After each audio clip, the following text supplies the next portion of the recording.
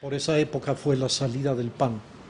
Y polemicé, en realidad fue un artículo y una respuesta con el padre de Diego Fernández de Ceballos, un hacendado de San Juan del Río, que me acusaba de comunista, de vendido a la Unión Soviética, eh, y además usaba una serie de adjetivos bastante injuriosos en su artículo. Yo le contesté y le contesté burlándome de él burlándome de los viejos hacendados, nostálgicos y burlándome de la extrema derecha por el representado. Eh, creo que me pasé un poco en la ironía o en el sarcasmo, sin duda. Y esto provocó la furia de sus hijos, especialmente de Diego, Diego Fernández de Ceballos.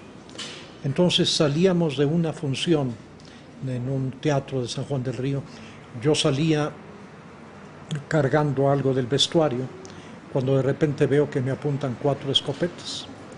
Eran cuatro hermanos de Diego Fernández de Ceballos. Y se me echa encima Diego con un látigo, pues del que se usa para pegarles a las mulas.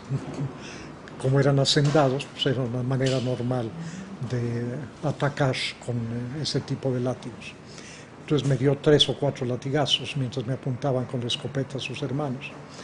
Yo, como reacción natural, debo haber levantado un pie, no lo recuerdo con exactitud, y debo haberle dado la patada en los huevos directamente.